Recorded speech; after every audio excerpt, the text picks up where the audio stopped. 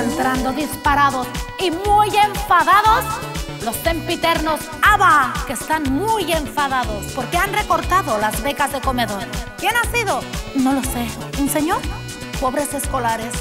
Tienen problemas a mares. Ahora no pueden ni comer. ¿Usted cómo lo ve, señor Ver? Coge el para ir al colegio, porque este año